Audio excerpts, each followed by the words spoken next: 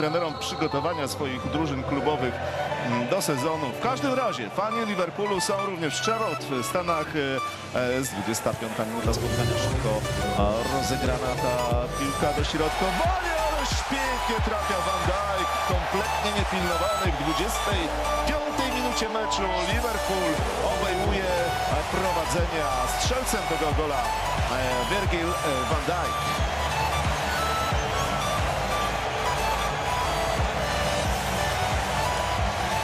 To jest też nowy gracz e, Liverpoolu, piłkarz, który w poprzednim sezonie e, grał część sezonu w Southampton. W tym poprzednim sezonie oczywiście trafił do Liverpoolu. Tutaj nie daje żadnych szans Marvinowi Hicowi. 19-krotny reprezentant e, Holandii Virgil van Dijk wykorzystuje swój wzrost goli. Nie zdobywa może zbyt e, wykluczony, że być może też trafi do lepszego klubu. Czy już teraz? Tego, tego jeszcze nie. Teraz szansa Borussii Dortmund być może na skończenie tego e, ataku. To jest e, na środku boiska dobre rozegranie. Uwaga, okazja, łapie piłkę Karius.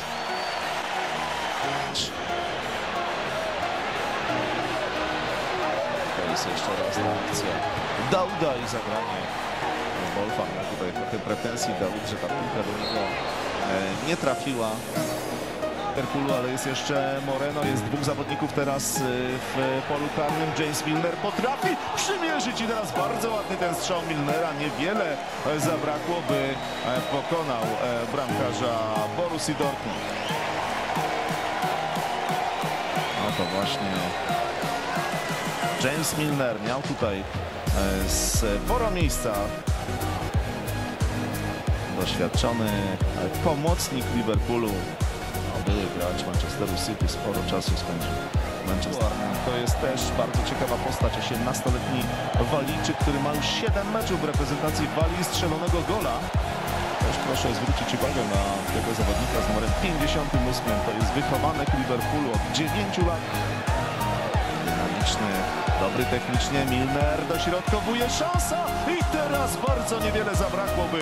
Liverpool w bardzo podobnych okolicznościach jak w 25 minucie strzelił drugiego gola. Tym razem Dominik Solanki miał taką szansę, ale ale nie trafił, tak jak wcześniej Virgil van Dijk, a, a popatrzmy jak tutaj dośrodkował James Milner, no centymetry, centymetry zdecydowały o tym, że piłka do bramki nie wpadła, ale to była wyborna okazja Liverpoolu na strzelenie drugiego gola w tym meczu.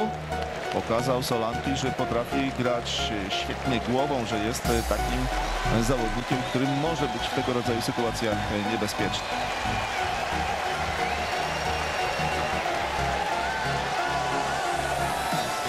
Kolegom w mm, rozegraniu piłki, ale na niewiele się to zdaje. Teraz Staric, świetny dribbling Staric, doskonałe rozegranie, jest szansa na drugiego gola. Uwaga i to jest poprzeczka, nie ma drugiej bramki dla Liverpoolu, ależ to była akcja, która rozgrzała tutaj amerykańską widownię w Charlotte.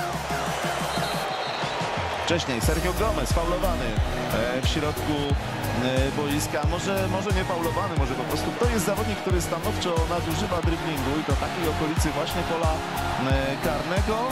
Będzie rzut karny. I proszę Państwa, akcja Christiana Pulisika, faulowany przez Ragnara e, Klawana. Wspominałem, że to jest zawodnik, który potrafi przyspieszyć, który e, ma znakomity dribbling, który ma świetną szybkość. No i tutaj w tej sytuacji konać e, Lorisa Kariusa, czy w 66 minucie dość niespodziewanie w tym meczu dojdzie do remisu jednego karnego z Manchesterem City wykorzystali piłkarze Dortmundu, a teraz, a teraz Pulisic zdobywa wyrównującą bramkę 1 do 1 w 66 minucie. No i trzeba przyznać, że to jest dość niespodziewana e, sytuacja, bo wydawało się, że to e, Liverpool tutaj w tym meczu ma przewagę, panuje nad tymi boiskowymi wydarzeniami, no ale, ale takie prowadzenie 1-0 to jest zawsze dość niebezpieczna sytuacja, która powoduje, że e, jeden błąd jedna okazja, jeden faul właśnie w polu karnym może spowodować to, co teraz e, stało się udziałem piłkarzy e, Liverpoolu. Najpierw e, Milner, później Klawan. No ja mam wątpliwości co do przyznania tego rzutu karnego, bo wydaje mi się, że Pulisic po prostu wpadł w obrońcę Liverpoolu, no ale, ale to pan Alen Chapman podejmuje decyzję na boisku. On przyznał rzut karny, dzięki temu Borussia Dortmund wyrównała wynik e, tego meczu. Uśmiechnął się Lucien Favre.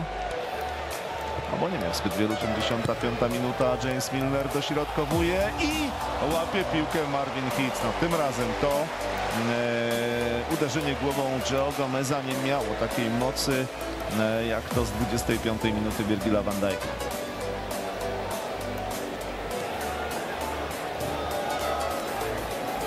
Bez większych problemów złapana piłka przez Mar- Marcel Szmelcer. To może być szansa Borussii na zdobycie drugiej bramki. Pulisic i to jest przepiękna akcja Borussii Dortmund.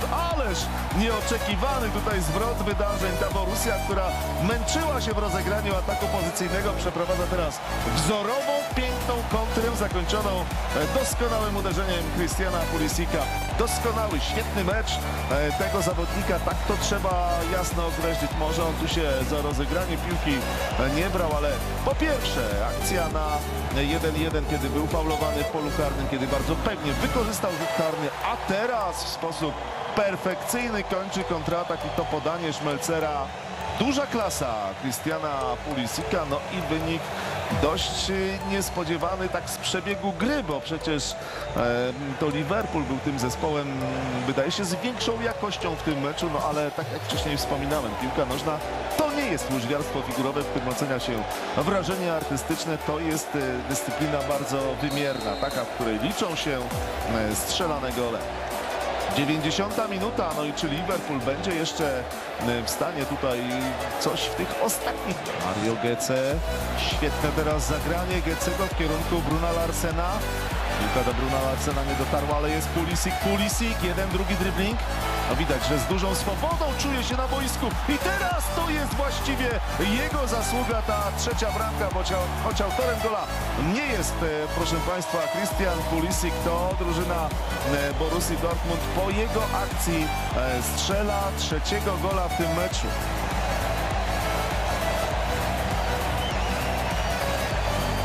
Ależ ta końcówka piorunująca Borussii Dortmund. Nie ma mowy tutaj o spalonym. No i widzimy jak e, w tej sytuacji e, zachował się Jakoko Grunlars.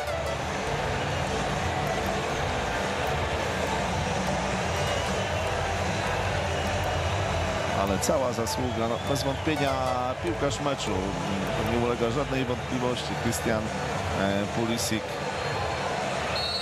Jeden, e, jedna, dwie zdobyte bramki, przepraszam, no i oczywiście udział przy tej e, kolejnej, przy e, trzeciej bramce Borussii Dortmund. Borussia to nie ulega żadnej wątpliwości.